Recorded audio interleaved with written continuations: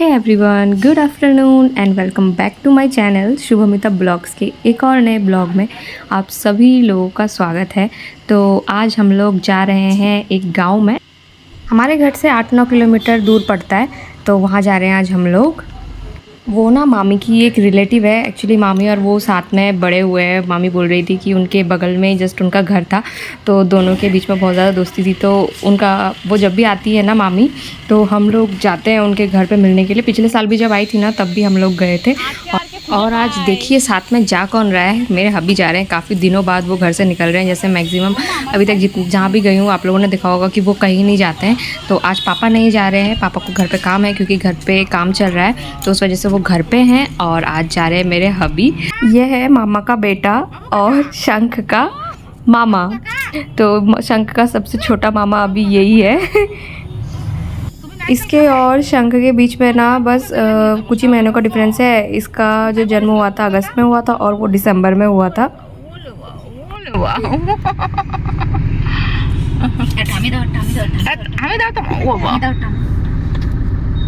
ওরে বাবা সব বোঝে তাহলে তো ওর তো দেখ তো দাঁত খারাপ আমি একটা দিই আমি একটা দিই এখানে দিই ওরে বাবা ওরে মিথ্যি মিথ্যি মনে কি ধরে খাই মনে তো কম কম করে খাই মোটে মোটে নি করি তোরে আমি दोनों कितने प्यारे लग रहे हैं ना ये सो चुका है अभी मामा गए हैं कुछ फ्रूट्स खरीदने के लिए उन लोगों के लिए आज ना काफ़ी दिनों बाद निकल रही हूँ घर से तो काफ़ी अच्छा लग रहा है जैसे बीच बीच में ऐसा अगर घूमने का मौका मिले ना तो माइंड एकदम फ्रेश सा हो जाता है आज हमारे मार्केट में ना ये प्लम मिल रहा था। एक्चुअली काफ़ी दिनों बाद देख के ना बहुत अच्छा लग रहा था कि नहीं कोई पहाड़ी फ्रूट्स यहाँ मिल रहा है। काफ़ी दिनों बाद खाने को मिलेगा। अभी देखा था ना हम लोगों ने तो मैंने बोला मामा से मम्मी को भी बहुत पसंद है ये फ्रूट मम्मी जैसे शाहजहानपुर में बड़ी हुई हैं तो वहाँ पे भी मिलता था। मम्मी बोल रही थी कि मैंने बहुत खाया बहुत अच्छा लगता है। तो आज वो भी बहुत दिनों बाद ही खा रही हैं। कितना साल बाद खा रही हूँ? चार साल। शादी से पहले खाया था। क्योंकि मिलता नहीं है ना हर जगह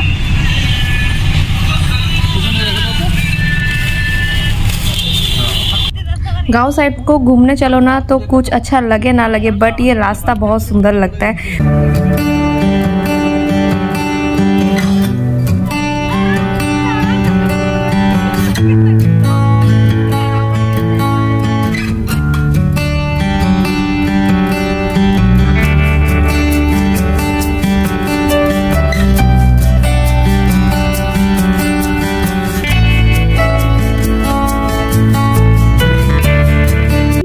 अभी हम सब लोग बैठ के खा रहे हैं समोसा। ये हमारा स्टार्टर है और ये स्पेशली जमाई जी ने बनाया है हम लोगों के लिए गरम गरम समोसा और इसका फ्लेवर ना एकदम कलकत्ता जैसा है, जैसे कलकत्ता में बनता है ना। बहुत टेस्टी था समोसा। यहाँ पे ना मेरा और मम्मी का कुछ डिस्कशन चल रहा था। एक्चुअली मम्मी बोल रही थी, मेरी लिपस्टिक छूट गई। तो मैंने बोला, मम्मी टेंशन मत लो, मैं लेके आई हूँ लिपस्टिक और यहाँ पे मामा और भांजे का तो यहाँ पे चलता ही रहता है, ये दोनों एकदम नौटंकी करते ही रहते हैं, दोनों जब भी साथ में रहते हैं। घर के पीछे वाले हिस्से में कुछ कुछ सब्ज़ियाँ लगाई हुई हैं तो यहाँ पे काफ़ी सारी हरी मिर्च हुई है, और यहाँ पे है पोई साग बोलते हैं हमारे वहाँ पे तो वो भी लगाया हुआ है, और यहाँ पे काफ़ी सारे पपीते पेड़ में लगे हुए हैं। यहाँ पे जमाई जी और शिल्पी दोनों मिलके आ, मतलब कुकिंग में इतना बिज़ी है ना मतलब ऑलरेडी बहुत कुछ बनाया हुआ है उन्होंने बट उनका स्पेशल मेन्यू है आज चिकन चिकन के साथ पीठा। हमारे वहाँ पे ना चावल के आटे से एक पीठा बनाया जाता है जिसको चितोई पीठा बोलते हैं या काची पीठा बोलते हैं। एक और भाभी हैं तो उनके घर आए हुए हैं अभी हम तो वो हमको लेके आई है सबको। तो आ, जो भैया हैं वो हम लोगों के लिए ना अभी फ्राई मोमोज़ लेके आए हैं। बोल रहे थे कि बहुत टेस्टी बनाते हैं। तो हम लोगों ने बहुत मना किया लेकिन उसके बाद भी वो लेके आए।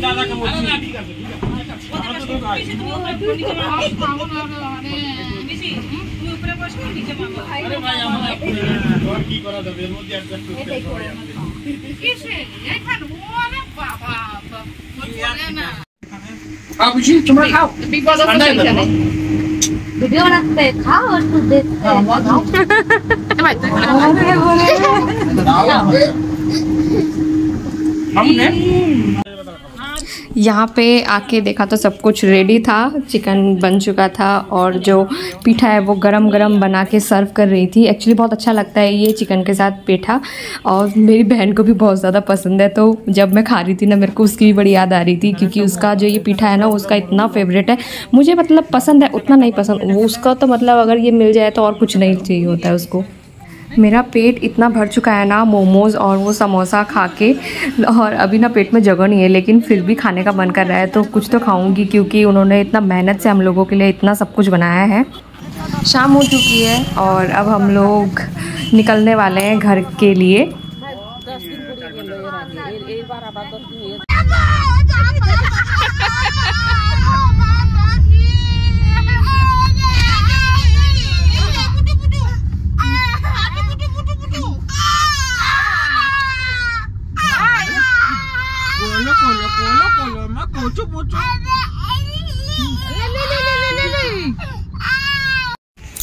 घर पे आके देखा तो पापा मटन लेके आए थे, हांडी खरीद के लेके आए थे कि आज रात में हांडी मटन बनाएँगे। मामा कल चले जाएँगे ना, इसीलिए आज रात में स्पेशल हांडी मटन बनने वाला है। तो सब लोग अभी आते ही लग चुके हैं प्रिपरेशन करने में। और मटन के लिए सारे मसाले वगैरह प्रिपेयर हो गए हैं। मैंने अभी फटाफट से आके ना वो सब प्रिपेयर कर लिया था। और अभी आज पापा कुकिंग करने वाले हैं, क्योंकि पापा के हाथों का हांडी मटन मतलब इतना अच्छा लगता है ना, इतना टेस्टी बनाते हैं और काफ़ी दिनों बाद बाद पापा बना रहे हैं।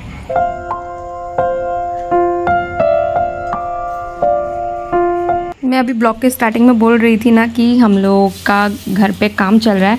तो घर पे ना अभी जो छत पे है वहाँ पे कर्टन्स लगाए पापा ने टिन का लगाया है ऊपर और अभी काफ़ी सारा कुछ बाकी है। आ, पापा का बहुत दिनों से शौक़ था कि छत पे वो टिन की छत मतलब रख लगवाएँ। और आज हम लोग मिलके यहीं पे पिकनिक कर रहे हैं सब लोग। एकदम पिकनिक वाली फीलिंग आ रही है और काफ़ी सारी लाइट्स भी सेट की हुई है, पंखा भी सेट किया हुआ है। मेरे अभी जैसे मटन वगैरह पकड़ते नहीं है ना चिकन वगैरह तो उनको बड़ा ऑकवर्ड सा लग रहा था। फिर मामी आई और मामी ने मटन डाला हांडी में।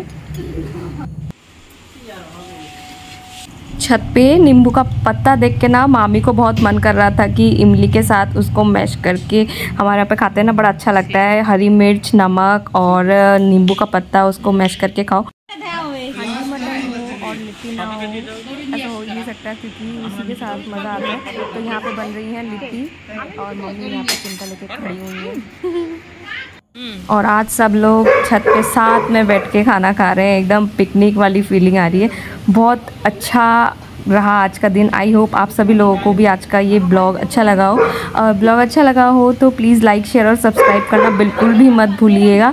और आज का जो ये मटन है ना बहुत ज़्यादा टेस्टी बना था। सभी लोग बोल रहे थे मामा को भी बहुत ज़्यादा पसंद आया था और बाकी सभी लोगों को भी। तो आज तो एकदम सबने बहुत मन से खाया और बहुत मज़ा किया हम लोगों ने।